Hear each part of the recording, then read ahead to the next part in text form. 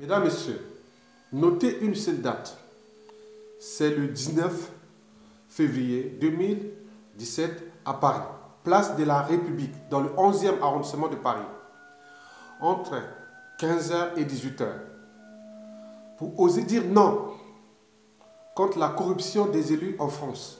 Il s'agit bien sûr d'un rassemblement citoyen contre la corruption des élus en France. Vous savez, les Français commencent à peine à comprendre que les campagnes électorales de leurs élus ainsi que les campagnes présidentielles sont financées par les dictateurs africains. Ces dictateurs s'acharnent contre les comptes publics de leur peuple pour se protéger. Notons au passage que depuis 1981 jusqu'à nos jours, Sassou Nguesso, le dictateur Sassou Nguesso, a toujours financé les campagnes électorales en France, législatives, locales et présidentielles, de gauche comme de droite. Et c'est les raisons pour lesquelles il est protégé. Ils sont sur le principe finance nos campagnes électorales, on te protège. Et c'est les raisons pour lesquelles il est toujours là depuis 1981 à nos jours. Donc Sassou Nguesso utilise la France comme compagnie d'assurance pour se protéger de manière militaire, de renseignement et aussi des réseaux de lobbying.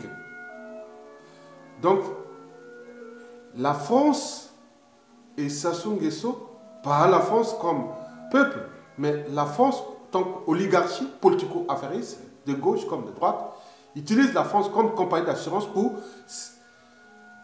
s'acharner sur les comptes publics de ces États, de l'argent, de ces peuples qui sont aujourd'hui plus que jamais déclassés.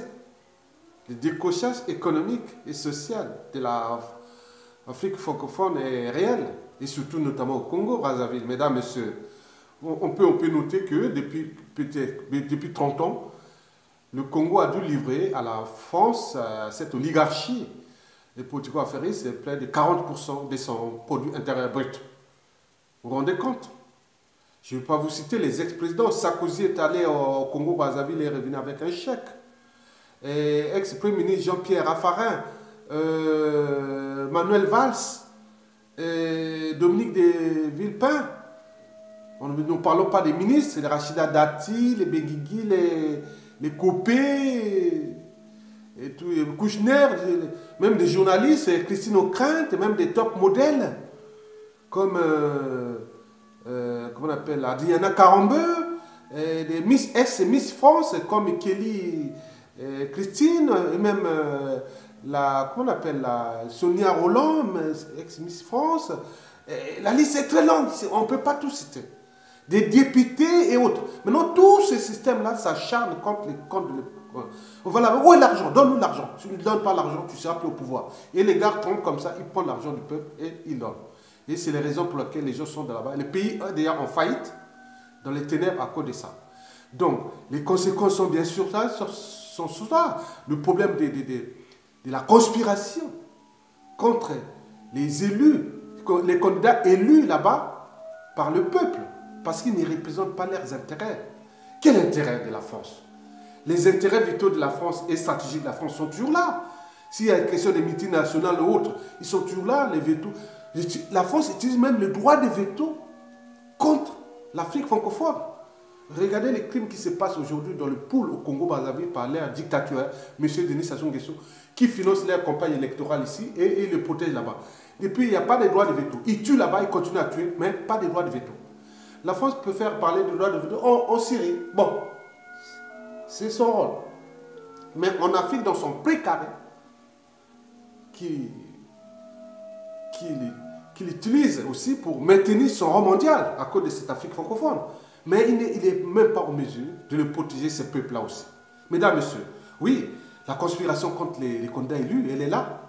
En 2016, il y a eu un candidat qui a été élu au Congo-Brazzaville, Monsieur général Jean-Marie Michel Moukoko, et la France est venue conspirer par des réseaux de marchands d'armes et de munitions, et aujourd'hui, il est en prison avec, par procuration ici à la France parce qu'on n'en parle pas. C'est un sujet tabou ici. On n'en parle pas parce que c'est la même corruption. Mesdames, Messieurs, bon, n'oublions pas les questions des droits humains. Oui, voilà, les problèmes de la condition humaine. Elle est désastreuse pour un pays de 4 millions d'habitants, quatrième pays producteur de pétrole. Comment payer un pays aussi riche comme ça peut-il être en faillite? Mais parce que quand vous avez 100 euros qui rentrent de l'argent public, il y a 90 euros qui sont pris pour cette économie-là. D'abord, la, la sécurité du dictateur, et c'est bien mal acquis. Et puis, pour financer les autres qui les protègent. C'est ça, aide-moi les CRTDR. Bon, n'oublions pas les conséquences, l'immigration. Un pays aussi riche. En 2016, il y a eu plus de 2000 Congolais qui sont arrivés en France ici, par l'immigration subie. Parce qu'ils ne peuvent plus rêver. La condition humaine est désastreuse. Donc on tue, le pays est somalisé. C'est-à-dire climat politique délétère et la condition humaine très très désastreuse. Et tout ça à cause de quoi? Toujours la corruption. Mesdames, Messieurs, donc nous devons être tous unis sur différentes échelles, non seulement à l'échelle africaine, mais aussi à l'échelle européenne, française et autres, pour combattre ce, ce, mal. On ne peut pas faire le monde, mais on peut au moins moraliser. On peut leur donner une certaine éthique, une certaine valeur. Comment aller s'acharner contre les comptes publics d'un pays aussi pauvre, du point de vue de la, cognition déjà, parce qu'il n'a pas, pas créé des, valeurs ajoutées, ce monsieur. Il prend l'argent du pétrole, du bois, des richesses, voilà, il les garde pour lui et il finance les campagnes électorales. Si on les protège avec les moyens militaires, de renseignement, des, des lobbying, des barrières de fonds, autres. Voilà. Il suffit que le président français tape le poing sur la table, ça qu'il soit parti. Mais là, il ne peut pas, parce qu'il est là, il est fort. Il est l'homme le plus puissant du monde, parce qu'il a pris tout cet argent, il a acheté la conscience à travers le monde. Ce pas seulement en France, hein. aux États-Unis, en Amérique, en, Asie, partout. Pour quelle raison? Du jamais vu dans l'histoire de, la race noire.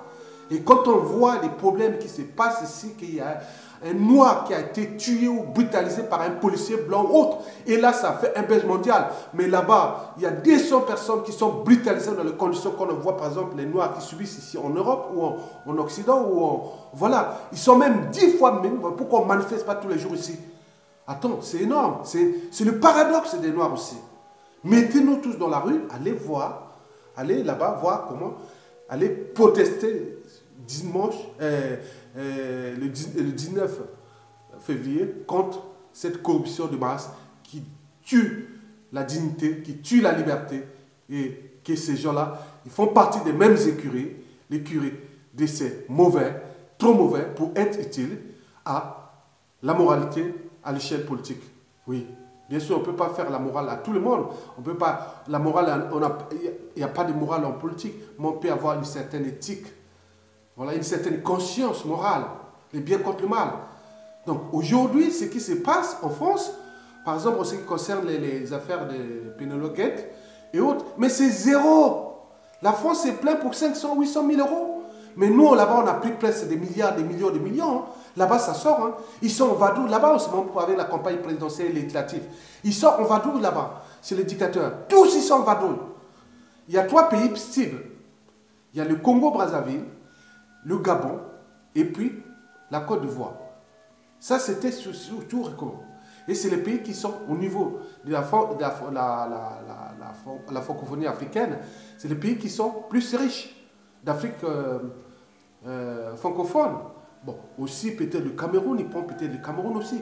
Mais ils ont mis une cible qui est là, des cibles qui sont Congo et Gabon. Congo, Brazzaville et Gabon. Ils vont là-bas tous les jours. C'est Papa Zaza. Ils vont prendre là-bas. Chaque fois, ils sont en vadou là. Ils viennent taper aide-moi et tout ça, cousin. Des députés, des maires. Anne Hidalgo est allé trois fois en 2016 pour aller faire quoi dans un pays qui en faillite? Qu'est-ce qu'il est allé, est allé chercher là-bas trois fois? Elle n'a jamais expliqué ça à Madame Anne Hidalgo. Il y a un problème dans cette conscience politique. Hein? Voilà, on fait pas, on n'a pas le monopole de la morale, mais il y a des choses qu'on voit que c'est ça. Voilà. Moi, ces gens-là, parfois, quand je vois des élus politiques en France, ici, par rapport à la liste de ces gens, quand ils viennent parler à la télé, que je le vois, moi, moi, je les regarde comme ça, je dis, non, c'est ça. Non, non, c'est pas. C'est bas. Quel que soit le niveau intellectuel, leur niveau intellectuel, ou leur rang politique, ou leur, euh, leur fonction, moi, je les regarde minables. Je les vois minables. Voilà. Moi, personnellement, Je préfère respecter un Français dans la rue, un gars qui est l'homme, qui, qui ces gens-là sont sales, sont, sont pas bien. Il y a quelque chose, c'est des névrosés, il y a quelque chose qui ne va pas dans leur cerveau. Comment aller s'acharner contre les codes d'un pays et en même temps en tenant un monstre Voilà, bien sûr, qui s'assemble, s'y ressemble, qui partit avec un criminel et pire qu'un criminel. Voilà. Donc, vous comprenez bien que l'immoralité est au-dessus de l'éthique en politique en France. Et c'est les raisons pour, pour lesquelles tout ce que nous parlons là, c'est devant, mais eux, derrière, ils font les affaires. Donc l'homme là est protégé à Brazzaville en train de tuer les gens là-bas. C'est à cause de cette France. C'est à cause de la France. Sans la France, rien du tout. La France a empêché le droit de veto pour que les organisations humanitaires viennent enquêter. Et là, ça dure obligatoirement un an qu'il ait commencé sa folie criminelle. Mais là, on n'en parle pas. En Europe, on ne parle pas. France, on ne parle pas. La France a dit, c'est mon précaré. Donc, laissez comme si vous laissez euh, quelqu'un mourir, voilà, vous êtes là en train de regarder. Non, ne touche pas, c'est à moi. Ne touche pas. Voilà, c'est comme hein, quelqu'un qui utilise la violence conjugale ou une violence co blessure volontaire sur un individu. Les gens arrivent là, temps on peut l'aider. Non, non, non, non, ne touchez pas. Restez là. C'est à moi. Donc les gars ont train d'agoniser. Et non, ne touche pas. C'est ce qui se passe au Congo. Ça soit en train de massacrer le peuple là-bas. La force a dit ne touchez pas. Pas de droit de veto. N'en parlez pas. C'est une affaire qui est franco-congolais, euh, congolaise, avec Sassou Nguesso. Donc on ne parle pas. Ils ne veulent pas qu'on ne parle. Et les gens sont dans des conditions terribles. Mais, vous savez, il y a un temps, laissons le temps au temps. Voilà. Les mêmes causes que les mêmes conséquences. Mais qui dit que la situation qui se passe aujourd'hui au Congo-Brazzaville, d'ici peu de temps, au jour ou l'autre, il sera incontrôlable. Avec combien d'autres victimes? Dans la France aussi, au niveau de ses intérêts vitaux et stratégiques dans cette sous-région du bassin du Congo. Mesdames, Messieurs, je vous remercie.